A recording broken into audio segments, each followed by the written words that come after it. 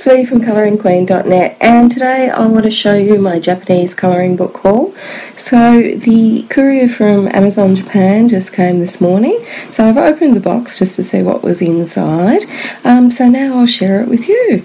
So this is what we got from Japan today. So the first one is an unusual book, it's just been released and it's got something very weird in the back of it which I'll show you it's got like a cover or something. It's really hard. I'm going to have to do some exploring and find out what this actually is. Uh, so that's really different and it's all based on cats, of course, as you can see from the cover. So very, very cute colouring book there.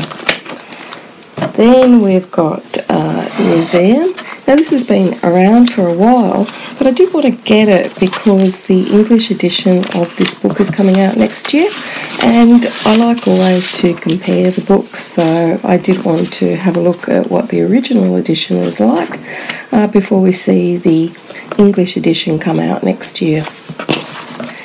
And also based on cats. So this one's a little cutie, and you know I like my cute sort of whimsical type books and so I really liked this little cute book that I've seen online. So got that one. And this is a new release. It's just come out. And I really liked the little carousel on the front. I really love things like that. And it's got some gorgeous little illustrations in it. Super cute and it's only a little soft cover, it's like a little magazine. Then this is also a new release. It's called Colours Make You Happy, um, which I'll be reviewing this one later on in the week. And isn't it gorgeous? So it's filled with cutesy images there. Very, very nice. So also got the uh, Peter Rabbit colouring book. I believe the English edition of this is coming out uh, next year. So again, I wanted to have a look and see what it's like.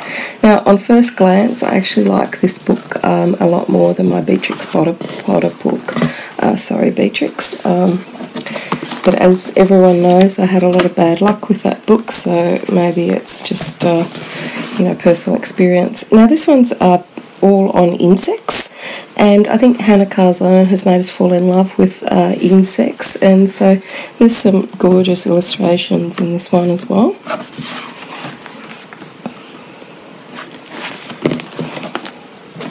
And then, of course, we've got some Disneyland books.